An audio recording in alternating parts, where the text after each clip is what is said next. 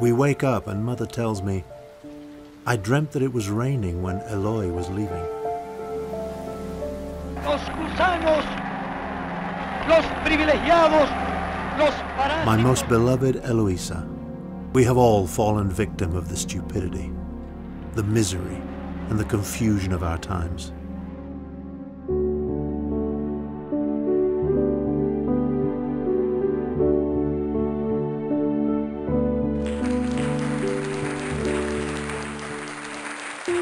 It wasn't just with the revolution that Lezama became an oracle. He had been an oracle before.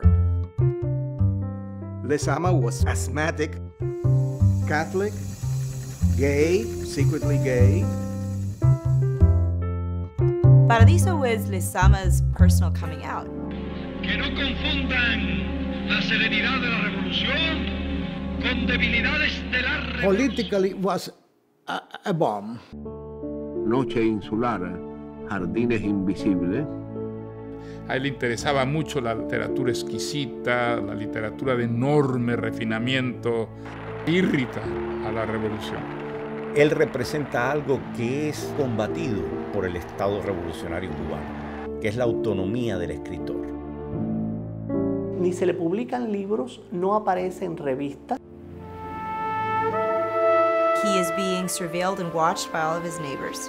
He is alone in a way that he has never been alone.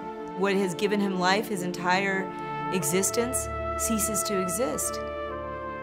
Dear Eloy, if there is no freedom, there is no possibility, there is no image, there is no poetry. If there is no freedom, there can be no truth.